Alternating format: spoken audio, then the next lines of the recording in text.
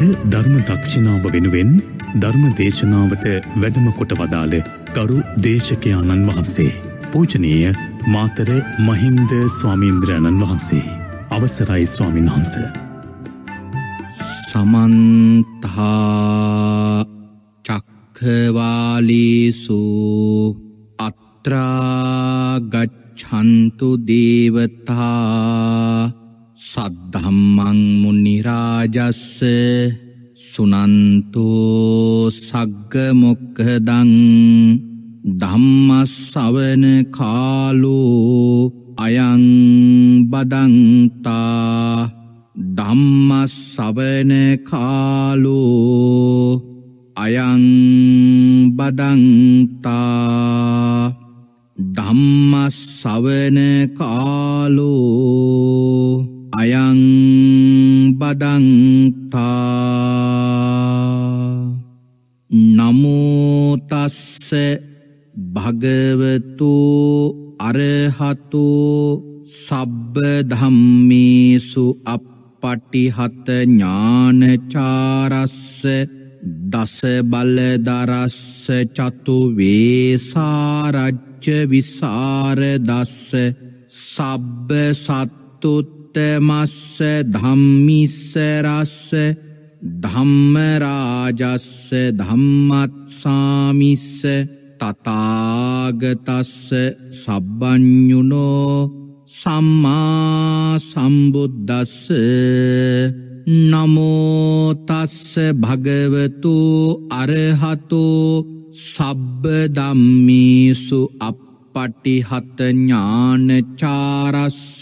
දස බලදරස්ස චතු වේසාරච්ච විසාර දස්ස සබ්බ සත්තුත්තමස්ස ධම්මිස්සරස්ස ධම්මරාජස්ස ධම්මත්සාමිස්ස තතාගතස්ස සබ්බඥුනෝ සම්මා සම්බුද්ධස්ස නමෝතස්ස භගවතු අරහතු සබ්බ දම්මිසු අපටිහත ඥානචාරස්ස දස බලදරස්ස චතු වේසාරච්ච විසාරදස්ස සබ්බ සත්තුත්තමස්ස ධම්මිස්සරස්ස ධම්මරාජස්ස ධම්මත්සාමිස්ස තතාගතස්ස සබ්බඥුනෝ සම්මා සම්බුද්ධස්ස උතුම්මෝ භාග්‍යවතුන් වහන්සේට මාගේ උතුම් නමස්කාරය වේවා. ධම්මස්වාමී ලෝකස්වාමී භාග්‍යවතුන් වහන්සේට අයිති ධර්මයක් දේශනා කරන මේ වෙලාවේ මාගේ මොවින් වැරදි වචනයක් පිට නොවේවා මිත්‍යාදෘෂ්ටික වචනයක් පිට නොවේවා මගේ අදහසක් ධර්මයට විරුද්ධව පිට නොවේවා. උතුම් වූ භාග්‍යවතුන් වහන්සේගේ සත්‍යමෝ බුද්ධ වචනය භාග්‍යවතුන් වහන්සේ සතුටු වෙන ආකාරයට දේශනා කරන්න මට ශක්තිය ලැබේවා. ඒ සඳහා සියලු ආර්යන් වහන්සේලාගේ අනුග්‍රහය ලැබේවා. සියලු සත්පුරුෂයන් වහන්සේලාගේ අනුග්‍රහය ලැබේවා. සියලු ශාසනාරක්ෂකයින් වහන්සේලාගේ අනුග්‍රහය ලැබේවා. හැම දෙනාටම භාග්‍යවතුන් වහන්සේගේම ධර්මය අවබෝධ කරගෙන උතුම් චතුරාර්ය සත්‍ය ධර්මයම අවබෝධ කරගනිත්වා. සාධූ සාධූ සාධූ ධර්මශ්‍රාවක ශ්‍රද්ධහා බුද්ධි සම්පන්න කාරුණික ගුණගරුක පින්වත්නී අද දවසේදී මේ පින්වත් හැම දෙනාම බලාපොරොත්තු වන්නේ භාග්‍යවත් අරහත් සම්මා සම්බුදුරජාණන් වහන්සේ විසින් ඔබෙත් මගෙත් නිවන පිණිස මහාකරුණාවෙන් දේශනා කොට වදාළ සුවාසෝ දහසක් ධර්මස්කන්ධයන් අතරින් ඉතාමත්ම වටින ධර්මකාරණාවක් ශ්‍රවණය කරන්නටයි. අද මේ උතුම් ඉරිදා ධර්මදක්ෂිනා ධර්මානුශාසනාවේ දායකත්වය ගෙන කටයුතු කරනු ලබන්නේ නිට්ටඹුව රම්පොකුණ ගම පදිංචි හිරාන් සංජීව මහතා ලසංගී චාමලි මහත්මිය කියන මිනිමේ පින්වත් දෙපළ විසින්. අපි ඒ පිංඋතුන්ට සද්ධර්ම දේශනාව අවසානී මෙවන් උතුම් ධර්මයක් මුළුමහත් ලෝකයාටම දායාද කරන්නට ඒ ධර්මදානයට සම්බන්ධ වෙලා රැස්කරගත්තු පින අපි අවසානයේ අනුමෝදන් කරන්නට බලාපොරොත්තු වෙනවා. ලෝකයේ පවතින අති විශේෂ දානයක් තමයි මේ ධර්මදානය කියන්නේ. බුද්ධෝත්පාද කාලයක විශේෂයම කරන්න පුළුවන් දානයක් මේ ධර්මදානය. සංසාරය පින්වතුනි ජීවිත සිය දහස් ගණන අතිශයීම සැපවිපාක දෙන මහා පුුණ්‍යකර්මයක් මේ ධර්මදානයකට දායකවීම. අපේ ජීවිතේ කොයි වෙලාවක කොයි මොහොතක මේ භවය අත්හරින්න වෙයිද කියන අපි කාටවත් කියන්නට බේ. හැබැයි දැන් අපිට තියෙනවා වටින දුර්ලභ මනුෂ්‍යාත්ම භාවයක්. මේ උතුම් මනුෂ්‍ය ආත්ම භාවය තුළ අපි යම් කුසලයක් රැස්කර ගත්තු ඒ අපගේ සංසාරයට මහත් වූ ප්‍රයෝජනයක් පිණිස හේතුවෙන කරුණක් බවට පත්වෙනවා. කුසල් රැස්කර ගැනීම පින්කර ගැනීම අපගේ සංසාරයට ඉතාම ප්‍රයෝජනවත් වන දෙයක්. ඒ උතුම් බලාපොරොත්තුව අධිටන් කරගෙන තමයි ඒ පින්වත් පිරිස මේ උතුම් සද්ධර්ම දේශනාවට දායකත්වය දරන්න. එමනං අද දවසේත් අපි ඉරිදා ධර්මදක්ෂිනා ධර්මානු ශාසනාව ආරම්භ කරන්නටයි බලාපොරොත්තු වන්නේ.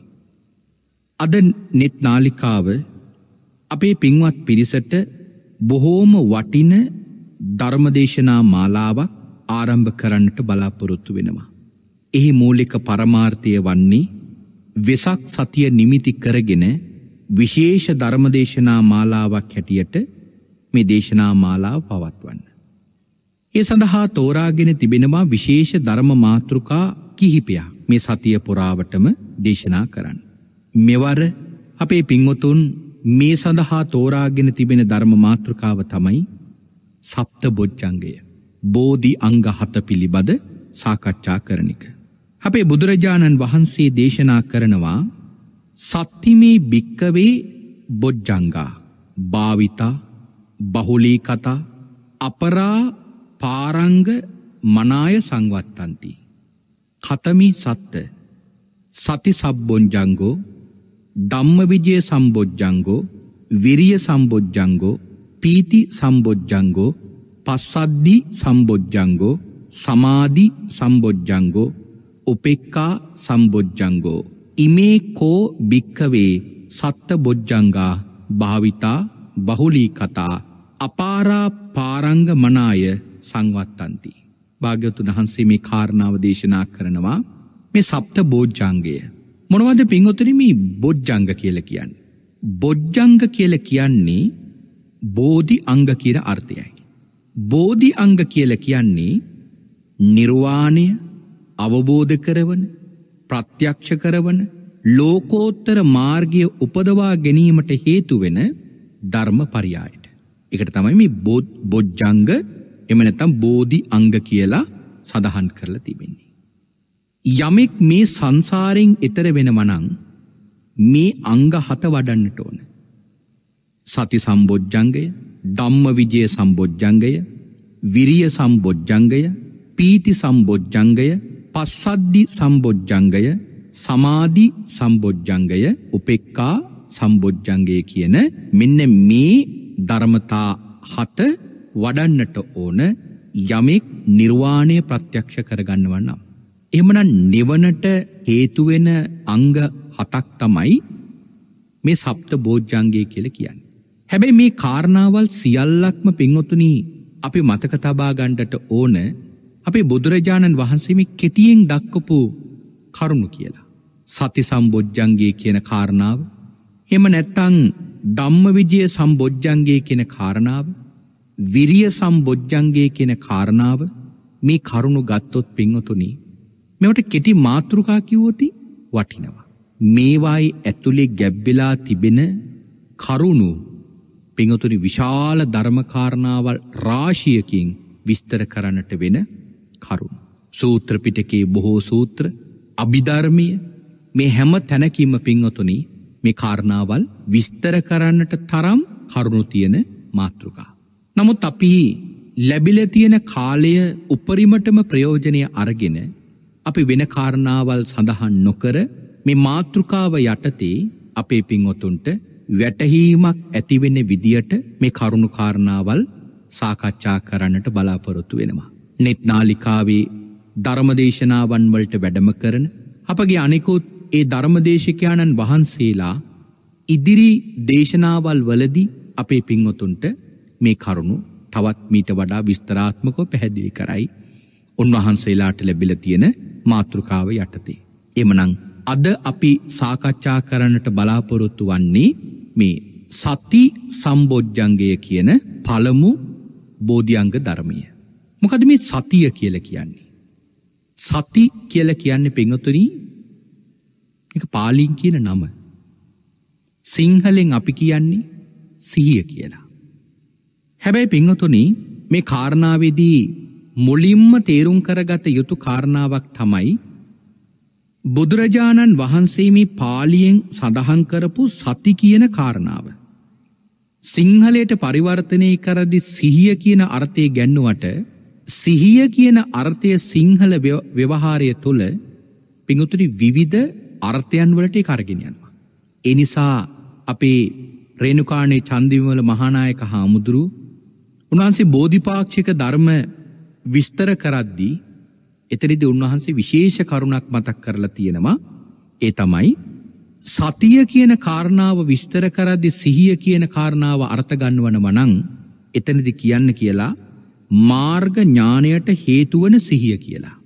එම නැත්තං නිවන් ලබා දෙන සිහිය කියලා පාවිච්චි කරන්න කියලා. එම නැත්තන් ලෝකෝත්තර මාර්ග ඥානය ලැබීමට උපකාරවන සිහිය. නිවන් ලැබීමට උපකාරවන සිහිය සති සම්බෝජ්ජන්ගේ කියන කාරණාව උන්වහන්සේ එතනදි විශේෂයම මතක් කරලා තියෙනවා. ඇයි උන්වහන්සේ මෙහෙම කාරණාවක් මතක් කරලා තියෙන. පින්වත්නී මේ සිහිය කියන මාතෘකාව තුළ කතා කරනකොට අපට මේ මාතෘකාව විවිධ අර්ථයන් ඔස්සේ විස්තර කරන්න පුළුවන්. අපි තුම එදිනිදා කෙනෙක් යම් කටයුත්තක් කරනකොට පාර යනකොට කතා කරනකොට එතනත් කතා කරනව සිහිය හැබැයි ඒ සිහිය මෙතනට අදාලයි හැබැයි මේ සති සම්බෝජ්ජන්ගේ යටතේ පින්ඔතුනි ඔය සිහිය කතා කරන්න සුදුසුනේ. අපේ මහානායක හාමුදුරුව උන්වහන්සේ ධර්ම ග්‍රන්ථිය තුළ උන්වහන්සේ අන්න ඒ කාරණාව තමයි එතනදි විස්තර කරලා තියෙන්නේ.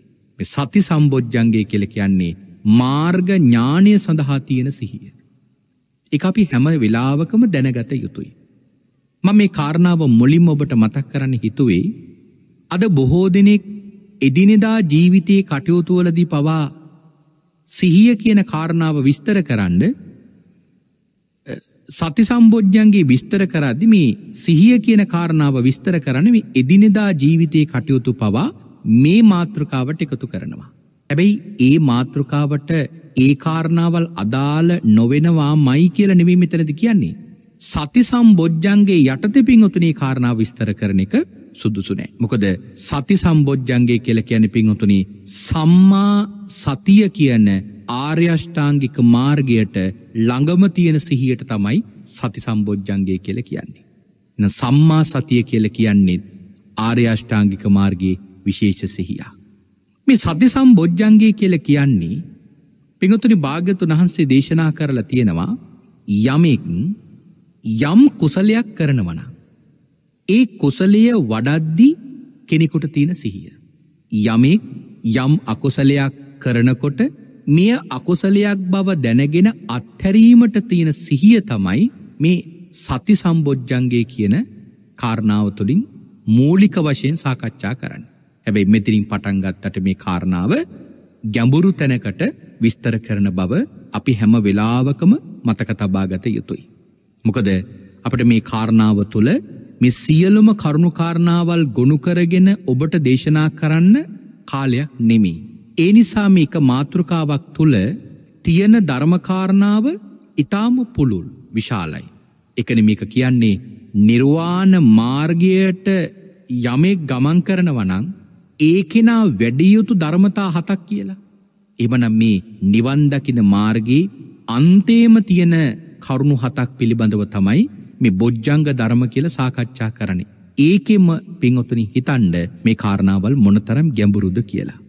ත්‍රපි සරලව තේරුම් කර ගත්තොතින් යම්කිසි කෙනෙ කුසල් වඩනවන. ඒ කුසලය වැඩීම පිණිස ඔහු සිහිය යොදනවා. සිහිය යොමු කරගෙන සිහිය ප්‍රඥාව මූලික කරගෙන ඒ කුසලය වඩනවා. යමෙක් අකුසලයක් කරන්න සිතක් උපන් මොහොතේ මෙය අකුසලයක් බව දැනගෙන ප්‍රහාණය කරනවන. අන්න ඒ සඳහාත් මේ සති සම්බෝජ්ජන්ගය ඒකෙනාට උපකාරයක් වෙනවා. දැම්මනි මේ කාරණාවල් දෙක මෙතරදි විශේෂීම තේරුම් කරගත යුතු කරුණු දෙක. කුසලය කුසල ධර්ම කැනමි ධර්මය අධර්මය කියෙන කාරණාවල් දෙක තමයි මෙතනදී විශේෂීම සාකච්ඡා කරන්නේ. හැබැයි පිංහතුනි අපේ භාග්‍යවතුන් වහන්සේ දේශනා කරන්නේ නිර්වාණ මාර්ගයට යන ශ්‍රාවකයා ඒ ධර්මතා පවා අත්හැරිය යුතුයි. දැන් ඒ කාරණාව විශේෂයෙන්ම සාකච්ඡා කරන ස්ථානයක් තමයි අලගද්දූපම සූත්‍රී. අද මේ කාරණාව බොහෝ දෙනෙක් වැරදියට පවා අදහස් දක්වන අවස්ථා අපි අහල තියෙනවා. බුදුරජාණන් වහන්සේ දේශනා කරලා තියෙනවා කුල්ලූපමං වෝ භික්කවේ දම්මං දේශිස්සාමි නිත්තරනත්තාය නෝ ගහනත්තාය. මහනිනි මම මේ ධර්මය පෞරකට උපමා කරනවා. උපමාකොට දේශනා කරමි. මෙනි මේ කාරණාවදි මෙතනදී බුදුරජාණන් වහන්සේ මේ ධර්මය පහුරකට උපමා කරලා තියෙනවා. බොහෝ දෙනෙක් හිතාගෙන ඉන්නවා භාග්‍යවතුන් වහන්සේ මෙතනදි මේ දේශනා කළේ ත්‍රිපිටක ධර්මය කියන කාරණාව කියලා. අද ඇතැම් අවස්ථාවල අපි මේ කාරණාව සමාජයේ නොයෙක් තැන්වලින් විස්තර කරද්දි අහන්න දකිින් ලැබෙන කරුණ. භාග්‍යතුන් වහන්සේ දේශනා කරලා තියෙනවලු. මේ සසර නැමැති සාගරෙන් එතර කරවන මේ පහුර කරේතියාගෙන යන්නට එපා එක අත්හරින්න කියලා. එතනදි පහුර කියන එක විස්තර කරදි විස්තර කරනවා ඇතැම් අය මෙ ධර්මය ඇයි මෙතර කියනවනේ කොල්ලූපමංගෝ භික්කවේ දම්මං දේශිස්සාමි මේ දේශිත ධර්මය මහනිනි මම් පහොරකට උපමා කරනවා. හැබැයි පිංහතුනි මේ කාරණාව අට්ටකතාවෙදි විස්තර කරනවා මෙතනදි මේ සාකච්ඡා කරන මේ ධර්මය කියල කියන්නේ ත්‍රිපිටක ධර්මය නෙමි. යමෙක් වඩන කුසලේ පිළිබඳව.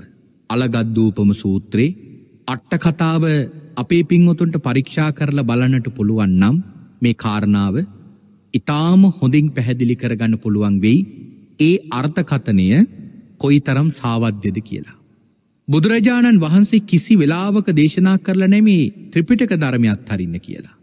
උනාසේ මෙතන කියන්නේ යමෙක් නිර්වාණ මාර්ගයට අරගෙන යන්නට උපකාර කරපු කුසලය. උනසේ ධර්මය හැටිට මෙතනදි විස්තර කර යන්නේ කාරණාව. භාගතුනාස දේශනා කරන එයයි අත්හරින්නට ඕන. මොකද රහතන් වහන්සේ නමක් රහත්භාවයට පත්වෙච්ච දවසේ ඉඳලා උන්වහන්සේගේ සිත වැඩ කරන්නේ ක්‍රියාසිත් මගේ. කුසල් සිත්වත් අකුසල් සිත්වත් උන්වහන්සේගේ සිත තුළ උපදීනිනේ. උන්වහන්සේ හැම මොහොතකම යම් දෙයක් කරානම් ඒ කරන හැම දෙයක්ම කරන ක්‍රියාසිත්වලි. හැබැයි ඒතාක් වෙනකං පෘතක්ජන භාවේ ඉඳලා ඒ රහත්භාවයට යන මාර්ගය තුළ ඒ ගමන් කරන සසර සත්වයා ඔය ධර්මය කියන එමනැත්තං කුසලය කියන ධර්මතාවය අනිවාර්යම සම්පූර්ණ කරගන්නට ඕන. ඒක තමයි බුදුරජාණන් වහන්සේ මෙතන පහුර හැටියට අර්ථකතන කරලා තියෙන්නේ. එතැමි ත්‍රිපිටක ධර්මය නෙමි.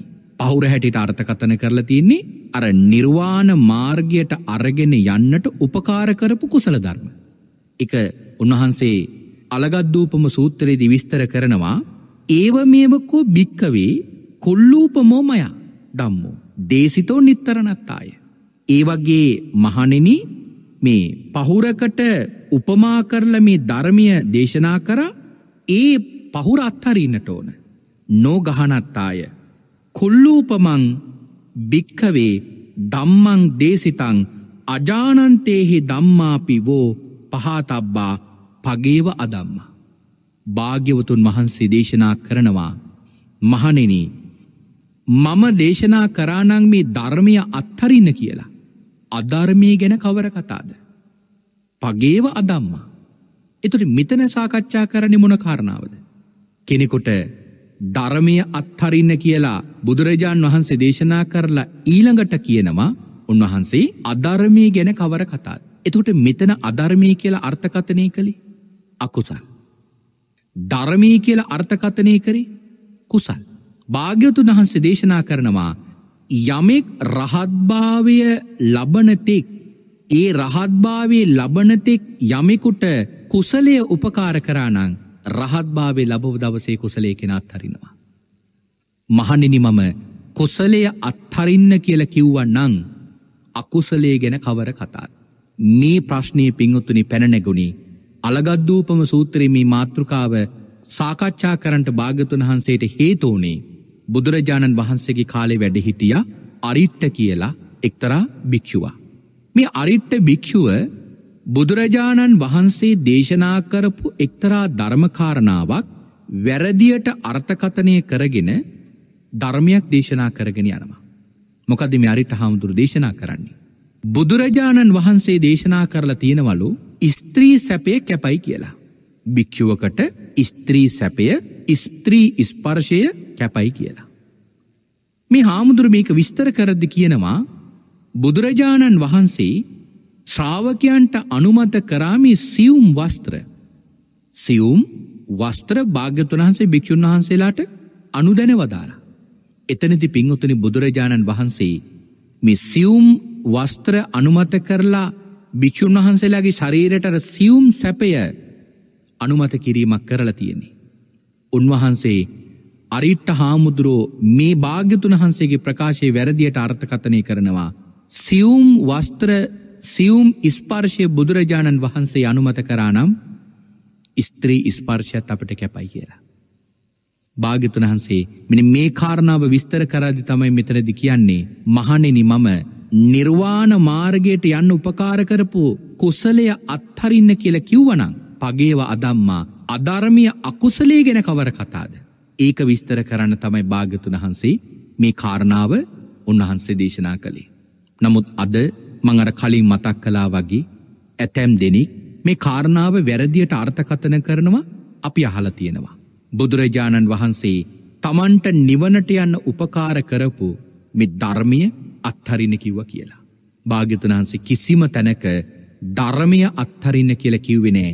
උනාන්සේ මේ අලගත්දූපම සූත්‍රයේම දේශනා කරනවා මේ ලෝකේ පුද්ගලයෝ තුන් දෙනෙක් අදහස් තුනකින් මේ ධර්මිගෙන ගන්නව කියලා.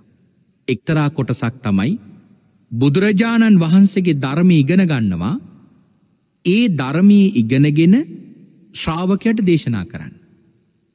විවිධ විවිධ රසවත් ධර්මකාරණාවල් ඉගෙනගෙන ශ්‍රාවකයාට දේශනා කරනවා පරමාර්ථයක් තියෙනවා මට වැඩිපුර ලාභ සත්කාර ලැබී කියලා. මට බොහෝ දෙනාගින් ක්‍රී කීර්ති ප්‍රසංසා ලැබේ කියලා. ඒ අරමුණින් යමෙක් ධර්මී ඉගෙන ගන්නවා. බුදුරජාණන් වහන්සේ දේශනා කරනවා. යමෙක් ඒ ක්‍රමයට ධර්මී ඉගෙන ගන්නවනම් ඊට වඩා වටිනම කිව්වා නිද්දක්කමනෝ වරතර. නිදාගන්න කීට වඩා වටිනම කිව්වා. මොකද නිදාගන්න එක හොඳයි කියනව නෙවෙයි.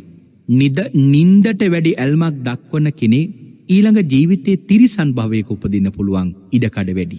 හැබැයි ලාභ සත්කාර ලබා ගැනීමේ චේතනාවේ යමෙක් මේ ධර්ම ඉගෙන ගන්න වනං භාගතුනන්ස් දේශනා කරනවා ඔහු මරණින් මතුව අවීචි මහා නිරය වැනි දරුණු නිරයන්වල උපදිනව කියලා. එතකොට යමෙක් ඒ අර්ථයෙන් භාග්‍යතුන් වහන්සේගේ ධර්මී ගෙන ගන්නවා. අලගද්ද පරියප්තිය. එට දෙවනි පරියප්තිය තමයි නිත්තරණ පරියප්තිය. සමහර දෙනෙක් මේ ධර්ම ඉගෙන ගන්නවා එතරවීම පිණිස. සීලය කොහොමද නිවැරදිව රකින්නේ.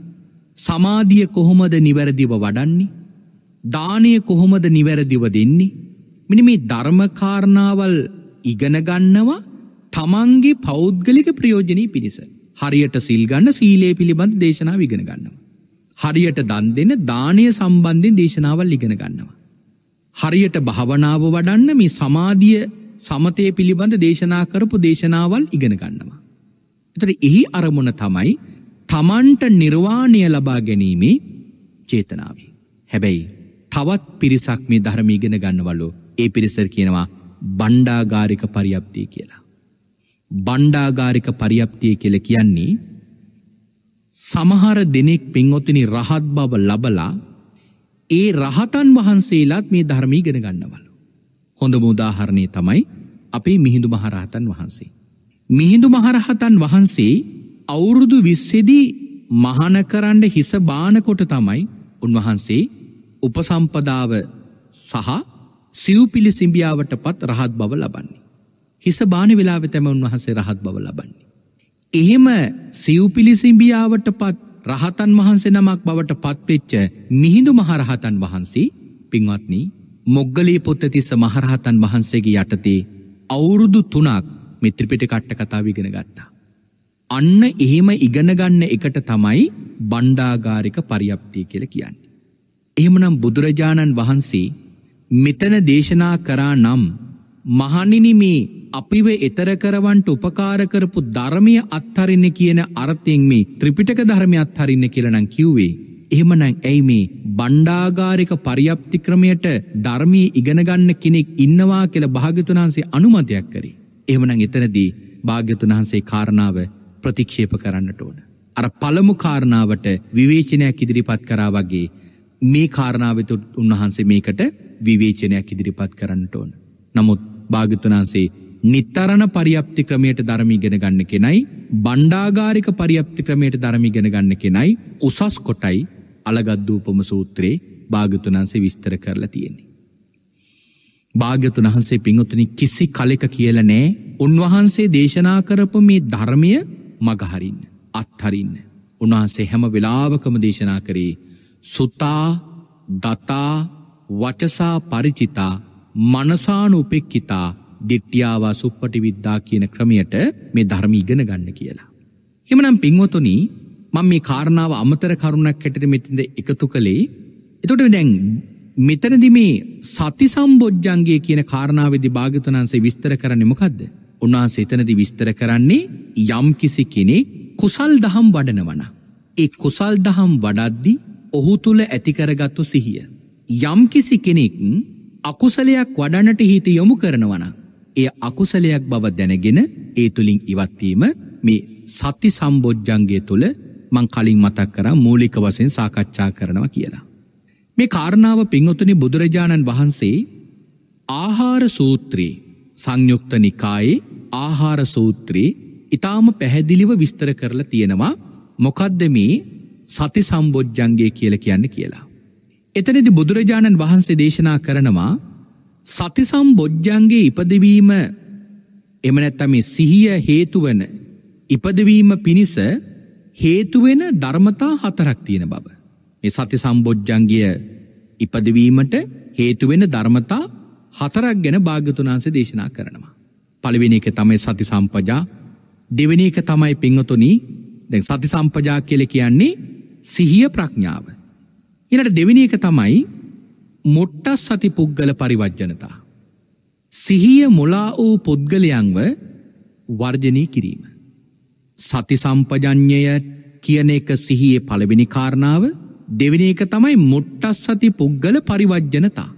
සිහිය නැති සිහිය මද පුද්ගලයන්ව ඈත් කිරීම දෙවැනි කාරණාව. සිහිය උපදවන්නට පුළුවන් දෙවැනි කාරණාව. උපට්ටි තස්සති පුද්ගල සේවනතා. සිහිය තියෙන පුද්ගලයන්ව සේවනය කිරීම තුන්වෙනි කාරණාව. හතරවෙන එක තමයි තදදි මුක්තතා. තදදි මුත්තතා කියල කියන්නේ අර කලින් කාරණාව තුනේදිම සාකච්ඡා කරපේ කාරණාවල් පිළිබඳ හැම වෙලේම උනන්දුවීම එම නැත්තං බලවත් කැමැත්තක් ඇතිකර ගැනීම. මෙන මේ කාරණාවල් හතර යමෙකුට සිහිය උපදවන්නට හේතුවෙන ධර්මතා හතරක් හැටියට භාග්‍යතුන් වහන්සේ දේශනා කරනවා. පින්වත්නී භාග්‍යතුන් වහන්සේ දේශනා කරන්න දැන් ගතේ හිතේ නිසින්නේ සුත්තේ ජාගරතේ භාසිතේ තුන්හි භාවේ සම්පජානකාරී හෝදී. යම් කිසි කෙනෙක් ඉන්නකොට. ඉඳගෙන ඉන්නකොට. ඇලවෙලා ඉන්නකොට නිදිමරණකොට කතා කරනකොට නිශ්ශබ්දව ඉන්නකොට. ගතේ ටිතේ නිසින්නේ සුත්තේ ජාගරතයේ භාසිතයේ තුන්හි භාවේ සම්පජානකාරී හෝති. මෙන මේ හැම තැනකම සිහිය ප්‍රඥාව උපදවා ගැනීම තමයි සති සම්පජානය කියල භාගිතුනාන්සේ දේශනා කරන්නේ. තැ මෙතනදි පින්වතුන අපි අපේ ජීවිත තුළ දැන් උදාහරණයක් හැටියට අපි එදිනෙදා ජීවිතය කරන කටින් පිට කරන වචන ශරීරයෙන් කරන ක්‍රියාවල් සිතින් හිතන සිතුවිලි මේවා පින්ඔතුනි කොටස් දෙකකට වෙන්කළොත් එක්කො කුසලයක් එක්කො අකුසලයක්. සති සම්බෝජ්ජන්ගේ කියල කියන්නේ මෙන්න මේ තැන් දෙකේදී සිහිය උපදව ගනින්න එකයි. අපි එදිනදා ජීවිතය කරන කටයුතුවලදී යම් කිසි කෙනෙ යමක් සිහියෙන් කරනකොට ඔහු හැම වෙලාවකම මේ සිහිය උපදවාගෙන වාසය කරන්නට ඕන. කොහොමද ඉන්නකොට ඉඳගෙන ඉන්නකොට ඇලවෙලා ඉන්නකොට නිදිවරණකොට එහෙම නැත්තං කතා කරනකොට නිහඬ වෙලා ඉන්නකොට පවා. මේ හැම අවස්ථාවකදිම පිඟුතුනි සිහිය උපදවාගෙන වාසය කරන්නට ඕන. එබ මේ කාරණාව මෙතන සාකච්ඡා කරන මේ මාතෘකාව පිංහතුනි කෙනෙකුට වඩන්නට නම් ඔහු නිර්වාණය අරමුණු කරගෙනම ජීවත්වන කෙනෙක් බවට පත්වෙන්නට ඕන. මේ සති සම්බොජ්ජන්ගේ වඩනකොට මේ බෝධියන්ගේ වඩනකොට ඔහු මේ නිර්වාණය අරමුණු කරගෙනම වාසය කරන කෙනෙක් බවට පත්වෙන්නට ඕන.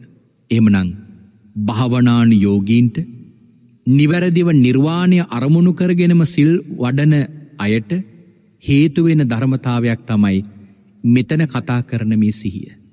එතකොට පින්වතුනී දැන් අපි කතා කරෝති මේ කාරණාවේදී බුදුරජාණන් වහන්සේ එක වෙලාවකදි දේශනා කරනවා යම්කිසි කෙනෙකුට ශ්‍රද්ධාව තියෙන්න්නට ඕන. ඒවගේම තමයි ප්‍රඥාව තියෙනටත් ඕන. ඒවගේම වීරිය තියෙන්න්න ඕන සමාධිය තියෙන්න්න ඕන ඒවගේම සිහි සතිය තියෙනට ඕන. ශ්‍රද්ධාව ප්‍රඥාව වීරිය සමාධිය සතිය. භාග්‍යතුන් වහන්සේ මිනි මිතරදී විශේෂ කාරණාවක් සඳහන් කරනවා මංහිතර ඒ කාරණාවත් මේ මාතෘකාවට එකතු කළොත් ඉතාම වැදගත් කියල අපේ ශ්‍රාවක පින්ඔතට මේ කාරණාව තවදුරට තේරුම් කරගන්න. භාග්‍යවතුන් වහන්සේ දේශනා කරනවා දැඟුණ අපි හිතමු ශ්‍රද්ධාවයි ප්‍රඥාවයි. යම්කිසි කෙනෙකුගේ ළඟ තියෙනවනං ඒ ධර්මතා දෙකම සමානව තියෙනට ඕන. බැරිවෙලාවක්වත් ශ්‍රද්ධාව බලවත් වෙලා ප්‍රඥාව අඩුවුණු එහෙම උනොත් ඒ අය වැඩි වශයෙන් සිදු කරනවා කියල කියන්නේ ප්‍රඥාව හීන එමනත මෝඩ වැඩ කියල අපි අදහස් කරන එවැනි දේවල්. ශ්‍රද්ධාව බහුල වෙලා ප්‍රඥාව අඩෝනොත් යමෙක් ගොඩක් වෙලාවට කරන්නේ අඥ්ඥාන ක්‍රියාවල්. ප්‍රඥාව වැඩි වෙලා ශ්‍රද්ධාව අඩුවනු. එතකොට ඒ කෙනා කරන්නේ කෛරාටික දේවල්. එහමනං භාගතනන්ස දේශනා කරනවා ශ්‍රද්ධාවයි ප්‍රඥාවයි යමෙක් තුළ සමානව ප්‍රගුණ කරයුතු ධර්මතා දෙක. එකනෙකට අඩු වැඩි බවක් තියෙන්න බෑ. ඊළඟට දේශනා කරනවා වීරියයි සමාධියයි. දැන් යම් කිසි කෙනෙක් වීරිය වැඩි කරගත්තු. වීරිය වැඩි කරගත්තොත් පින්වතුනි කලබලකාරී ස්වරූපයක් ඇති වෙන්නේ. සමාධිය අඩු වෙලා වීරිය වැඩි කරගත්තොත් කලබලකාරී කෙනෙක් වෙනවා. කළ යුත්ත නොකළ යුත්ත මොකක්ද කියලා තේරුම් කරගන්න බැරි වෙනවා. ඊළට සමහරක් විට යමෙකුට සමාධිය වැඩි වෙලා වීරි අඩුවනු. භාගතනාස දේශනා කරනවා එතකොට අලස බවට හිතයොමු වෙනවා. සමාධිය වැඩි වෙලා වීරි අඩෝනොත් ඒ කෙනා අලසකමට හිත පුරුදු වෙනවා. ඒ නිසා භාගතනස දේශනා කරනවා මේ වීරියයි සමාධියයි කෙන මේ ධර්මතා දෙකම සමානව ප්‍රගුණ කරයුතු ධර්මතා දෙක. එමනං ශ්‍රද්ධාවයි ප්‍රඥාවයි සමානව තියෙනට ඕන වීරියයි සමාධියයි කෙන මේ ධර්මතා දෙකත් යමෙක් තුළ සමානව පැවිතියයුතු ධර්මකාරණා දෙකා. හැබැයි බුදුරජාණන් වහන්සේ දේශනා කරනවා සෑම ව්‍යංජනයකටම ලුණු එකතු කරනෝ වගේ. මේ සිහිය කියන කාරණාව හැම වෙලාවකම තියෙන්න්නට ඕන කියලා. සිහිය කියන කාරණාව හැම වෙලාවකම කෙනෙක් තුළ තිබියයුතු විශේෂ කාරණාවක් හැටියට අපේ භාගතුන් වහන්සේ දේශනා කරලා තියෙනවා. එහෙමනං සිහිය කියන මේ ධර්මතාවය නිවන්දකින ශ්‍රාවකයාට මොනතරම් ප්‍රයෝජනයක් ලබා දෙනවද කියලා හැම වෙලාවකම හිතන්නට ඕන කාරණාව. ඒ තරමටම මේ සිහිය කියන ධර්මතාවේ වැදගත්. භාගතුනාන්සේ චප්පානක සූත්‍රයේදී පවා දේශනා කරනවා දැම් මේ අපේ හිත හැම වෙලාවකම මේ සසරට බැඳිනවා. මොනවයින්ද ඇහෙෙන් රූපය කනින් ශබ්දය නාසයෙන් ගඳසුවඳ දිවෙන් රසය මේ පංච ඉන්ද්‍රියන්ගෙන් පංච උපාදානයන් උපාදානය කර ගැනීම තුළින් පින්වත්නී ඒ කෙනා මේ සසරට ඇදදානවා. ඔබත් මමත් මේතාකාලයක් සසරේ ආවනං ආවි ඔන්න ඔය උපාදානය නිසා. අනාගතයේ තවත් නිමක් නැති සංසාරගමන ඇවිදිනවනං ඇවිදින්නෙත් ඔය උපාදානය නිසා. බුදුරජාණන් වහන්සේ දේශනා කරනවා මෙන්න මේ පංච උපාදානය ඇහෙන් රූප කෙරෙහි ඇලෙන එක කනින් ශබ්ද කෙරෙහි ඇලෙන එක නාසයෙන් ගඳසුවඳ කෙරෙහි ඇලෙන එක මෙන මේක යමෙකොට නතර කරගන්ට පුළුවන්න ඔහුට අවශ්‍යයි සීය රූපයක් දැක්කම ඒ රූපයට ඇලෙන එක නතර කරගන්නට ඕන එකට තමයි සිහිය තියෙන්නේ භාග්‍යවතුන් වහන්සේ මහබෝසතාණන් වහන්සේ නමක් හැටියට පාරමිතා පුරණකොට උන්වහන්සේ සිද්ධහාර්ථ මහබෝසතාණන් වහන්සේ හැටියට ඉපදිලා උන්වහන්සේ ගිහි ජීවිතය ගත කරලා එක මොහොතක අභිනිස්ක්‍රමණය කරනවා. ඒ වෙලාවෙ මාරය ඇවිල්ලා බෝසතාණන් වහන්සේට කියනවා මහා මන්දිර අත්‍යරදාල කොහෙදම යන්නේ තව දවස් හතයි තියෙන්නේ සක්විතරජකම ලබන්න කියලා. භාගතුන් වහන්සේ අලියුවම හෙලෝ කෙලෙප් පිනක්සේ පිංහතුනි ඒ සක්විත රාජ්‍ය ප්‍රතික්ෂේප කළා. ඊළඟට බෝසතාණන් වහන්සේ අභිනිස්ක්‍රමණය කරනවා.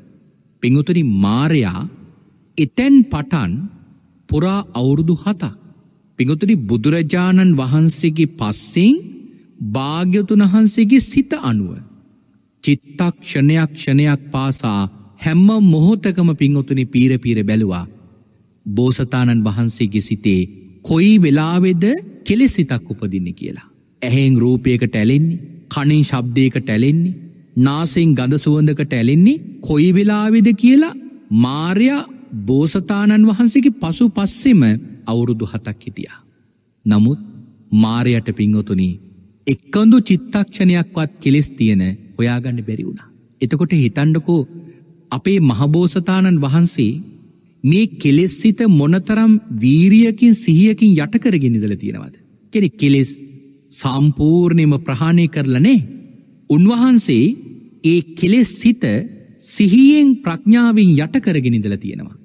කිසි තැනක කිසි වෙලාවක උන්වහන්සේ ඒ කෙලෙස් සිතට සිත තුළ උපදින අවස්ථාවත් දීලනේ. ඕකම පිංහොතින අපේ ජීවිතය තුළට එකතු කරල බලන්. ගතවන එක මොහොතක් ගැන මෙනෙහි කරලා බැලුවෝත්. ඒ මොහොත තුළ මොන්න තරම් කෙලෙස් අපේ හිතට උපදිනවද. මං අපේ මහබෝසතාණන් වහන්සේව අපේ ජීවිතයට සම්බන්ධ කළ සමාන කරා නෙමේ මං ඒ උදාහරණය අපේ පින්ඔත්තට පැහැදිලි කළේ එතකොට තේරෙනවා අපේ මේ කෙලෙස් සිත කොච්චර බලවද්ද කියලා. ඒ කෙලෙස් සිතකින් තමයි පින්වතුනි මාරයා මාරයගේ ග්‍රහණයට අපිව ගන්නේ. යම් කිසි රූපයකට අපි ඇලනොත් අන්න මාරයාගේ ග්‍රහණය තුළ අපි ජීවත්වෙන්නේ. එතකොට සිහිය නැතිකම්ම නිසාම පින්හොතුනි ඒ වෙලාවට අකුසලය ඉස්මතු වෙලා බොහෝ අකුසල කරම සසරට එකතු කරගන්න පුළුව. මොකක් නිසාද සිහිය නැතිකම නිසා. අපි කලින් මේ කතාව දේශනා කරලා තියෙනවා එනිසා දීර්ගව මං මේ කාරණාව ඔබට විස්තර කරන්නේ වෙලාව මදි නිසා අපි දවසක් දේශනාවකති පැහැදිලි කරාපේ පින්වතුන්ට මතක ඇති අර එක්තරා භික්‍ෂූන් වහන්සේ නමක් උන්වහන්සේ සමත ධ්‍යානවඩලා උන්වහන්සේ ඉරදිය ලබනවා. එක රහතන් වහන්සේ නමක් උන්වහන්සේ වැඩඉන්න ස්ථානට වඩිනවා. ඒ රහතන් වහන්සේ රුවන්වැලි මහාසෑය වන්දනා කරද්දී ඒ රුවන්වැලි මහාසෑය වඳින රහතන් වහන්සේට හිමාලයෙන් මල්ගෙනල දෙනවා මුළු සෑ මළුවම පිරින්න. අර්සාමනේරයන් වහන්සේ. තව දවසක් රහතන් වහන්සේ ගමේ පිඩුසිකා වඩිනකොට මේ සාමනේරයන් වහන්සේ ඉරදියෙන් ගමට පිණ්ඩ පාතය වඩිනවා. එතරම් ධ්‍යාන ශක්තියක් උන්වහන්සට තිබුණ. අට රහතන් වහන්සේ අවස්ථා දෙකක දවවාද දෙකක් දුන්නා. රුවන්වැලි මහාසෑය වදිනකොට මල් ගෙනල්ල දුන්නම අවවාදයක් දුන්නා ආයුෂ්මුතුනි පෘතක්ජන එරදිය ඕන වෙලාවක නැතිවෙන්න පුළුවන් එනිසා සිහියෙන් වාසය කරන්න කිය. නෑහුණා වගේ ගියා. දෙවෙනි වෙලාවේ ගමට පිඩුසිගා වඩිනවා දැකලා ඉරදියෙන් කියනවා ආශුමතුනි පෘතක්ජන සමතය පෘතක්ජන ධ්‍යාන පෘතක්ජනේරදිය ඕන වෙලාවක නැතිවෙන්න පුළුවන්. සිහියෙන් වාසය කරන්න ඔබ වහන්සේ සිහියෙන් වාසය නොකොළොත් අනාගතයේ එක ඇහැක් අන්ද කාන්තාවකගෙන් කැඳබොන්නයි වෙන්න කිව්වා. පොඩි හාමුදුරෙක් අවවාදය ගණන් ගත්තිනේ. පොඩි හාමුදුරු දන්නේ මේ රහතන් වහන්සේ නමක් කියලා. පොඩි හාමුදුරුවෝ දවසක් අහසිං පිඩුසිගා වඩිනකොට ගඟක නනාහිටපු එක්තරා කාන්තාවකගේ ගීතයක් අහලා. මදුරස්වරයෙන් කියපු ගීතයක් අහලා ඒකට ඇලිලා තමන්ට යටපත් වෙලා තිබෙච්ච පංච නීවරණයන් බලවත් වෙලා ධ්‍යානීන් පිරිහිලා අහස ඉඳල හරියට කුරුළු පිහාටුවක් වැටනසේ පිංහොතුනි පොලෝට පතිත වුණා. අන්තිමේදී ඒ සාමනේරයන් වහන්සැර කාන්තාවත්තික උපවිදි වෙලා ගිහි ජීවිතයට පවාගිය. අවසානි දෙක දවසක් මේ බිරිඳත් එක් ඇතිවෙච්ච බහින් බස්වීමක් නිසා තමන්ගේ අතීතිවෙච් එක්තර උලකින් අර කාන්තාවට විසි කරල ගැහුවා. ඒ වෙලාවේ කාන්තාව ගැහැන්ද වුණා. එත්තකොට තමයි ඒ පුද්ගලයට මතක් වනේ එදාර රහතන් වහන්සේගේ පවවාදය. සිහිය නැතිවුණොත් එක හැකන්ද කාන්තාවකින් කැඳ බොන්න වෙයි කෙන උදාහරණි. එතකොට තමයි තේරුණේ අනේ මට එදා මොන ගැහෙල තින රහතන් වහන්සේ නමක් නේද කියලා. පින්වත්නී මෙන මේ කාරණාව විශේෂ කරුණක් හැටිට මං මේ වෙලායි මතක් කරන හිතුවේ අපට මේ සිහිය කියන කාරණාව සති සම්බොජ්ජංගය මේ බෝධියංග ධර්මය අප තුළ දියුණු කරගන්නට උත්සාහ නොගත්තොත් පිංහොතුනී මේ සසරට අපි ඒ කාන්තෙම වැටිනවා. මොකද සෑම ධර්ම කාරණාවක් වඩන්නම අනිවාරය මමූලික වශයෙන් එකනට සිහිතිබියයුතුමයි.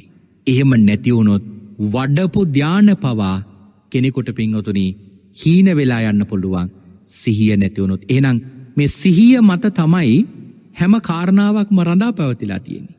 එකනි මහබෝසතාණන් වහන්සේ අවුරුදු හතක්ම උන්හන්සේගේ මේ කෙලෙස් හිත යටකරගන්න උන්වහන්සේට පුළුවන්කමක් ලැබුණේ එක සුළු මොහොතක් හරි අවස්ථාවක් දුන්නනම් මාරයට ඒ සුළු මොහොතෙන් පිංහතුනි මාරයා භාග්‍යතුන් වහන්සේව මහබෝසතාණන් වහන්සේව ග්‍රහණය කරගන්නවා.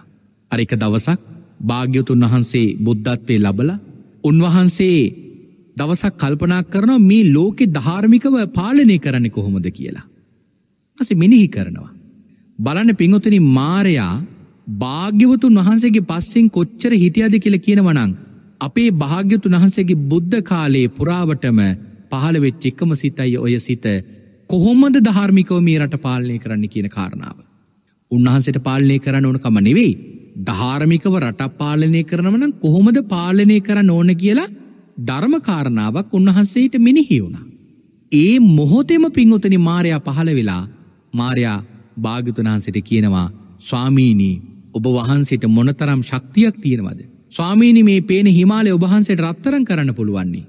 ස්වාමීනී ප්‍රමාදවෙන්න එපා මේ හිමාලය රත්තරං කරලා ඒ ධනයෙන් මේ ලෝකයේ පාලනය කරන්න කිව්වා. බලන්න පිංහොතනී මාරයාගේ ග්‍රහණය කොයිතරම් භයානකද කියලා. අපේ භාග්‍යතුන් වහන්සේගේ පස්සෙන් කොතරම් කාලයක් කොයිතරම් වාරයක් මේ මාරයා පස්සෙන් ඇවිල්ලද ඔය සිත පවා උන්වහන්සේගේ හොයා ගත්තේ. පිංහතුනේ මාරය කියල කියන්නේ ඒ තරමටම අපිව සසරට ඇදලදාන කෙනෙ. හැබැයි අපට ඉන්න පුළුවන් හරියට සිහිය පවත්වා ගත්තොත් චප්පානක සූත්‍රයේ බුදුරජාන් වහන්සේ මේ කාරණාව දේශනා කරනවා. සත්තු හය දෙනෙක් ඒ සතුන්ගේ හිස අල්ලල ගැට ලනුකෑලි හයකින් ගැටගහලා ගැටගහපු ලනුහය අගකුන් හය එකට එකතු කළ ගැටයක් ගහලා ඒ සත්තු හය දෙනා නිදහස් කරනවා. ඒ සත්තු හය දෙනා එක ඒක පැතිවලට අදිනවා යමෙක් බලවත් වදිනවනං අදින පැත්තට අරස අනිත් සත්තු ටිකත් ඇදිනවා. මොකද හැම සතිකුගෙම ශරීරිය ලනු කැල්ලකින් ගැට ගහල තියෙන නිසා. ඒ වගේ යමෙක් රූපය ඇහෙන් රූපයක් දකිනවන ඒ රූපයට ඇලෙනකොට අර අනිත් අංග සියල්ලක් මෙතනට ඇදිනවා. කනින් ශබ්දයකට ඇලෙනවන ඒ ශබ්දයට අනිත් සියල්ලක් මේකට ඇදිනවා. පිංහතුනී මෙහෙම බුදුරජාණන් වහන්සේ දේශනා කරනවා මේ පංච ඉන්ද්‍රියන් පිනවන්න හැම වෙලාවකම සත්වයා පංච උපාදානස්කන්දයට ඇලෙනවා. අර සත්තු හය දෙෙන නොෙක් නොෙක් පැතිවලට අධිනක නතර කරන්න නම් තියෙන එකම විකල්පෙ තමයි ශක්තිමත් කනුවගේ සත්තු හය දෙනා ගැට ගහන එක. එහෙම ගැට ගැහුවෝත් ඒ හය දෙනා යන්නේ කනුව වටේ විතරයි. භාගතුනාස දේශනා කරනවා මේ සිහිය සිහිය කියන කාරණාව මේ පංචින්ද්‍රියන් ගැටගහල තියන්ඩ එතකොට පංච ඉන්ද්‍රියන් සිහියෙන් බැඳල තිබුණොත් සිහිය නැමැති කනුවේ බැඳල තිබුණොතින් ඒ කෙනාට කුසලය වඩාගෙන අකුසලය ප්‍රහාණය කරගෙන ජීවත් වෙන්නට පුළුවන්. භාගතුන් වහන්සේ මං අර කලින් මතක් කලා මේ ආහාර සූත්‍රයේදී සිහිය උපදවාගන්නට හේතුවෙන ධර්මතා හතරක් ධර්මකරුණු හතරක් දේශනා කළා. පළවෙනි එක තමයි සති සම්පජඥය දෙවනි එක තමයි මොට්ටස් සති පුද්ගල පරිවජ්ජනතා තුන්වෙනිතක තුන්වෙනි එක තමයි උපට්ටි තස්සති පුද්ගල සේවනතා හතරවෙනි එක තමයි තදදි මුත්තතා කියලා උන්වහන්සේ දේශනා කරනවා. මේ සති සම්පජඥය කියල කියන්නේ සිහිය සහ ප්‍රඥාව කියන කාරණාව. මොකදද මේ සිහිය ප්‍රඥාව කියල කියන්නේ. ඒක භාග්‍යතුන් වහන්සේ දේශනා කරනව කරුණු හතරක් ඔස්සේ.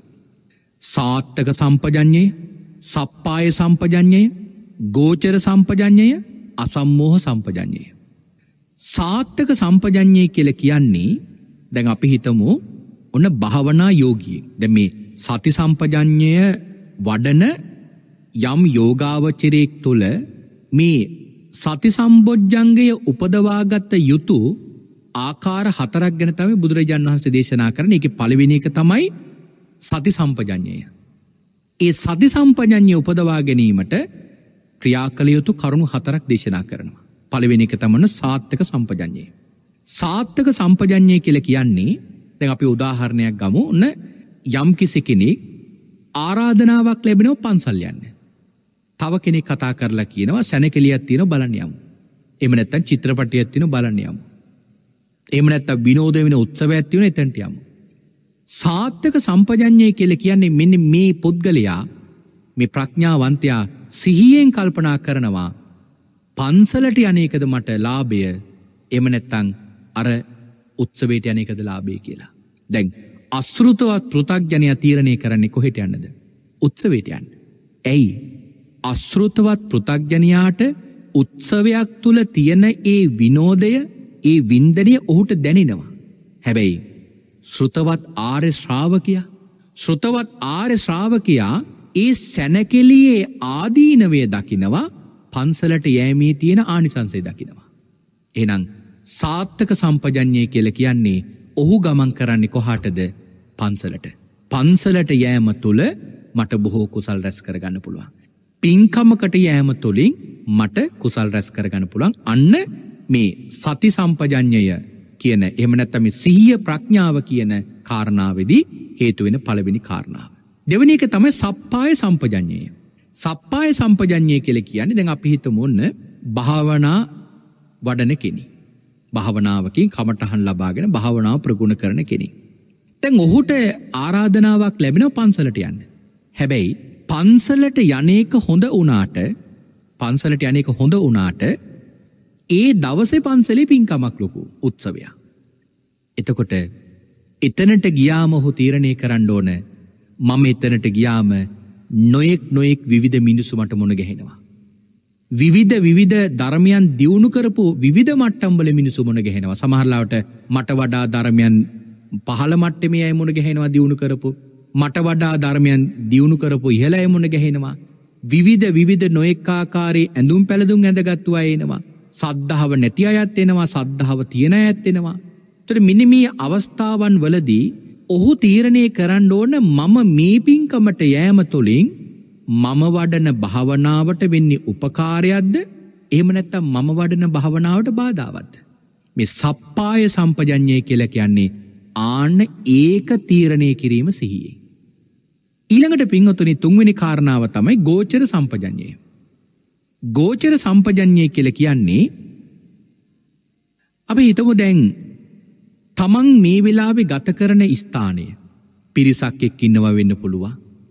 එම නැත්තැන්නෙන් අපි හිතුම ගිහි ජීවිතයක් ගත කරනවා යමෙක් ඔහු ඒ ගිහි ජීවිතය තුළ මේ නිර්වාණ මාර්ගයට අවශ්‍ය කරන ධර්මයෙන් දියුණු කරන කෙනෙ. අපිතු මේ කෙනත් මේ සති සම්බෝජ්ජන්ගේ වඩනවා. තැන් සමහර වෙලාවට ගෙදර උත්සවයක් තියෙන පුළුවන්. එමනත පිරිසක් ඇවිල්ල ගෙදර කතා බහ කරනව වෙන්න පුළුවන්. අවුරුදු කාලෙක ඥාති එකතු වෙන වෙන්න පුළුවන්. එමනත තමන්ට යම්කිසි තැනකට යන්න වෙනව වෙන්න පුළුවන්. තම ගෝචර සම්පජඥය කියල කියන්නේ ඒ වෙලාවෙ තමන් ඉන්න තැන තමන් වඩන භාවනාවට අනුකූල ස්ථානයක්ද කියල තීරණය කරන්නට ඕන. භාවනාව වඩන කෙනෙක් දං ඒ තමන් වඩන භාවනාවට මේක උපකාරයක්ද අනුකූල තැනක්ද භාවනාව කරන පහසු තැනැද්ද එමනැත්තම් මගේ භාවනාවට බාධාවක් වෙන තැනැද්ද. මිනි මේක සිහියෙන් ප්‍රඥාවෙන් තේරුම් කර ගැනීම ගෝචර සම්පජඥය කියලා භාගතුනාන්ස දේශනා කරනවා. හතරවෙන එක තමයි අසම්මෝහ සම්පජඥය. අසම්මෝහ සම්පජඥය කියල කියන්නේ අර කලින් කාරණ තුනක් සාකච්ඡා කළ සාත්තක සම්පජඥය සප්පාය සම්පජඥය ගෝචර සම්පජඥය කෙන මෙන්න මේ කාරණා තුන්න සාර්ථකද කියලා ඒ හැම වෙලාවකම සිහිය බිඳගන්නේ නැතුව ඉන්නවනං අන්න එකට කෙනවා අසම්මෝහ සම්පජඥය කියලා එකන අර අවස්ථා තුනේදිම තමන් සිහිය බිඳගන්නේ නැතුව ඉන්නවනං අන්න එකට කියනවා අසම්මෝහ සම්පජඥය කියලා. ඊළඟට පිංහතුනි සතිසම් බොජ්ජන්ගේ වඩන දෙවිනි කාරණාව තමයි මොට්ටස් සති පුද්ගල පරිවජ්ජනතා. දැඟුණ පළවිනික තමයි සති සම්පජඥය. සිහියෙන් ප්‍රඥාව කියන කාරණාව. තොට ඒක වඩන ආකාර හතරක් තමයි පැහැදිලි කරේ සාත්තක සම්පජඥය සප්පාය සම්පජඥය ගෝචර සම්පජඥය අසම්මොහ සම්පජඥය කළ පැහැදිලි කර. ඊළකට මොට්ටස් සති පුද්ගල පරිවජ්ජනතා කියල කැන මේ සිහිය නැති සිහිය මද පුද්ගලයන් ඇසුරු කරනකින් ඉවත් වෙනවා. ඔවුන්ව වර්ජනය කරනවා. ඒකත් පින්ඔතුනි සිහිය උපදවා ගැනීමට ඒ කෙනාට හේතුවෙන විශේෂ කාරණාව. මොකද උදාහරණයක් ඇටියට සිහිය නැති පිරිසක් එක පින්ඔතුනි පින්කමක් කරන ගැත්මොකද වෙන්නේ. සිහිය උපදවා ගන්න බැරි පිරිසක් එක්ක පින්කමක් කරන්න ගියත්. සිහිය උපදවාගන්න බැරි පිරිසක් එක එකට එකතු තුළ සිල් රකින්න හදනවා. ඔබ හිතල බලන්න ඔබට සිල් රැකගන්න පුළුවන්. සිහිය නැති පුද්ගල පිරිසක් එක එකට එකතු වෙලා භාවනා කරන්න සූදානම් වෙනවා. ඔබ හිතල බලන්න ඔබට ඒ භාවනාව වඩන්න පහසුයිද කියලා. භාගතුනාස දේශනා කරනවා සිහිය උපදවා ගැනීමට හේතුවන දෙවිනි ධර්මතාවේ තමයි සිහිය නැති පුද්ගලයන්ව වර්ජනය කිරීම.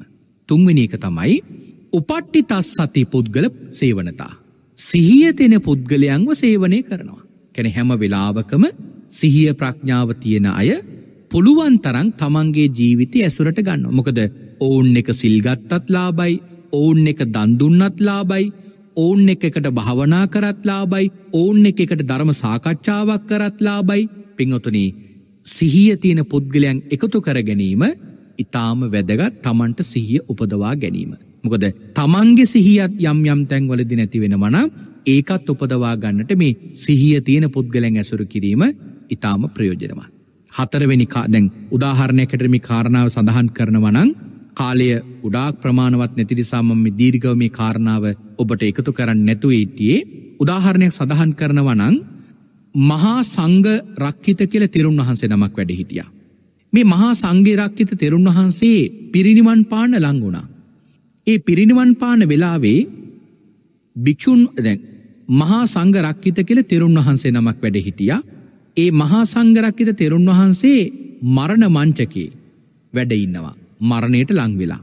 ඒවෙලාවේ භික්‍ෂුන් වහන්සේලා ගිහිල අහනවා ස්වාමීනය ඔබහන්සේ යම් ලෝකෝත්තර අධිගමයක් ලබලද තියෙන්නේ. තකොට කියනවා නත්තිමේ ලෝකුත්තර දම්මා නෑ මම ලෝකුත්තර ධර්මයක් ලැබුවනේ තොට ඒ වෙලාවෙ කියනවා ස්වාමීනී හරි පුදුමයි. මොකද යොදුන් දොළහක මහ පිරිසක් ස්වාමීනි එලිය බලාගෙන ඉන්නවා රහතන් වහන්සේ නම පිරිනිවන් පානව කියලා. ස්වාමිනි අප මොකක් දේ අයට කියන්න කියලා. තොට මේ මේ හාමුදුරුව කියනවා මම මෛත්‍රී භාග්‍යතුන් වහන්සේ දැකල නිවන් දකින්නේ ප්‍රාර්ථනාවක් කරගෙන ඉන්න කියලා. දේවෙලාවෙදී අර භික්ෂුන් වහන්සේ විදිරි කිව්වෙන් පස්සදී අහනම ස්වාමීනිම අපි මොනවදහෙන දැම මිනිසුට කියන්න කියලා. ඒ වෙලා විදි අර මහා සංග රක්කිත තෙරුන් වහන්සේ මේ භික්‍ෂූන් වහන්සේලාට කියනවා එනම් මොහොතක් මට වෙලාව දෙන්න කියලා. ඒ වෙලාවර භික්‍ෂූන් වහන්සේලාට කියන කාම්බරෙන් කුටියෙන් එලියට යන්න කියලා. කුටියෙන් එලියට යන කොටම අසුරක් ගහල කතා කරනවා. අසුරක් ගහන එතකොට අරබික් වැඩපු භික්ෂූන් වහන්සේල නැවත කුටියට එනවා. තොට අහනවැයි කියලා කියනවා ඒ වෙලාවේ දැන් හරි කියලා. ඒ කියන්නේ උන්වහන්සේලා ඇඳළඟ ඉඳලා එල්ලියට වඩින ඒසුළු කාලය තුළ මේ හාමුදුරුව රහත් බව ලැබවා. ඒ වෙලාවෙදී අර හාමුදුරුරු කියන ස්වාමිනය වහන්සේ හරි පුද්දුම දෙයක් ඉතාම දුෂ්කර දෙයක්නි කරලා තියෙන කියලා. ඒ වෙලාවෙදී අර මහා සංගරක් මහරහතන් වහන්සේ උන්වහන්සේ කියනවා ආශ්මතුනී මේක දුෂ්කර දෙයක් කියල හිතන්න එපා. මම දුෂ්කර දෙයක් නොමලට කියන්න. මහනෙන මම පැවිදිවෙච්ච දවස ඉඳලා. අසතියා අඥ්ඥාන පකතන් කම්මං නාමන පස්සාමි. පැවිදිවෙච්ච දවස ඉඳලා සිහිය නැතුව කරපු වැඩක් නෑ කියලා. එකැන පැවිදිවෙච්ච දා පටන්ම උන්හන්සේ මේ මොහොත වෙනකම වැඩ ඉඳල තිනි සිහියේ. එක මොනතරම් දුෂ්කර දෙයක්ද කියලා පිංහතුර හිතන්න. මෙන මේ කාරණාව තමයි මෙතරදිම විස්තර කරන්නේ. අන්න එවැනි සිහිය තියෙන පුද්ගලයන්ව නිතරම ඇසුරු කරන්න කියලා. ඉළඟට හතරවෙනි කාරණාව භාගතුනාස දේශනා කරනවා. තදදි මුක්තතා තදදි මුක්තතා කියල කියන්නේ අර ඉඳගෙන ඉන්නකොට ඇවිදිනකොට කතා කරනකොට කනකොට බොනකොට මේ සියලුම තැන්වලදී සිහිය පිහිටුවාගෙන කැමැත්තිං වාසය කරනවනං දවස පුරාවටම සිහියෙන් වාසය කරනවනං ඒකට කියනවා තදදි මුක්තතා කියලා ඒක පුරුදු පුහුණු කරගත යුතුයි. මෙ මේක තමයි පින්ඔතුනි සති සම්බෝජ්ජන්ගේ කියලා අදහස් කර නමුත් මං කලින් මතක් කලා වගේ නැවතත් ඔබට සිහිපත් කරනවා මේ සාකච්ඡා කළේ ඇත්තටම කෙටියෙන්. මේක මීට වඩා පුළුල්ව සාකච්ඡා කරන්න පුළුවන් මාතෘකාවක් නමුත් තිබෙන කාලවෙලාව උපරිමටම ප්‍රයෝජනය අරගෙන මං මේ ධර්මකාරණාවල් ටික අපේ පින්ඔතුට පැහැදිලි කරේ ඉදිරි ඒ බෝධියංග ධර්ම සාකච්ඡාවන් වලදී අපේ ගෞරෝණී ස්වාමින් වහන්සේලා ඒ ඒ කාරණාවල් තුළින් මේ කාරණාවල් තවදුරටත් විස්තර කරාවේ. එහෙමනං අද කාලේ නිමාවට පත්වෙලා තිබෙන නිසා මේ දේශනාව නිමාවට පත් කරනවා මේ උතුම් සද්ධර්ම දේශනාව තුළින් අපේ පිංඋතුන්ට ප්‍රාර්ථනා කරනවා උපන් මොහොතේ හැම මොහොතකම සිහියෙන් ප්‍රඥාවෙන් කටයුතු කරන්නට හැකියාව ලැබේවා. කරපු කුසල් නැවත කරන්නත් නොකරපු කුසල් කරන්නත් වෑයම් කරන්නත් කරපු අකුසල් බැහැර කරන්නත් නොකරපු අකුසල් නොකර ඉන්නත් මේ සතර සම්යක් ප්‍රධානය දියුණු කරගන්නට සිහිය උපදවාගෙන කටයුතු කරන්නට මේ උතුම් සද්ධර්ම දේශනාව උපකාරවේවා කියල මේ වෙලාවේ ප්‍රාර්ථනා කරනවා. මන අද දවස මේ උතුම් සද්ධර්ම දේශනාව මුළු මහත් ලෝකයා කිරීම මහත් අනුකම්පාවෙන් දේශනා කරවන්නට දායක වුණු නිට්ටම්බුව රන්පොකුණ ගම පදිංචි හිරාන් සංජීව මහතා ලසන්ගි චාමලේ මහත්මිය කෙන මේ පින්වත් දෙපලට ආශිරුවාදය කරනවා. එ පිංහතුන් බලාපොරොත්තු වෙනවා සෙතුම් දෙව්මින පුතුනුවන්ටත් අවුරුදු දහතුනක් වයසේ පුතුනුවන්ටත් වගේ අවුරුදු අටක් වයස රුවින්මා සිතුලිනි දියනියටත් එවගේම අවුරුදු තුනක් වයස සස්විඳු කිත්මින පුතුනුවන්ටත් ආශිර්වාදය කරනවා. ඒ දරුවන්ගේ අධ්‍යාපන කටයුතු සාර්ථක වේවා අනාගත ජීවිතය යහපත්වේවා බාධාවකින් තොරව යහපත්ව ධාර්මිකව තමන්ගේ අනාගත ජීවිත යහපත් කරගන්නට ඔවුන්ගේ අරමුණ බලාපොරොත්තු පැතුමන් සියල්ලක්ම සොර ප්‍රකාරම සාර්ථකමත් කරගන්නට ශක්තිය ධෛරිය සැලසේවා කියල මේ වෙලාවේ ආශිර්වාදය කරනවා එ දරුවන්තුන් දෙනාට නිදුක් නීරෝගිය සුවපත් භාවය සැලසේවා කියල සෙත් ප්‍රාර්ථනා කරනවා.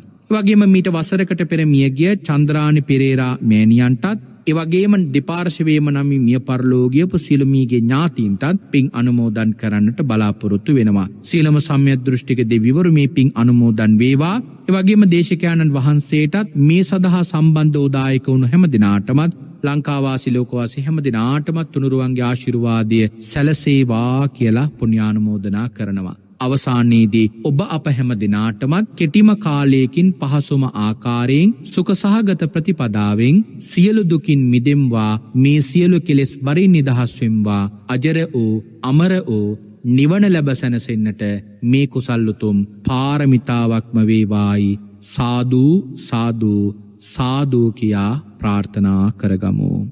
ආකාසට්ටහාචබුම්මට්ටා දේවානාගා මහිද්දිකා පුඤ්ඥන්තං අනුමෝදිත්වා චිරන්රක්කන්තු සම්මා සම්බුද්ධ ශාසනං චිරන්රක්කන්තු සම්මා සම්බුද්ධ දේශනං චිරන්රක්කන්තු සම්මා සම්බුද්ධ සාවකං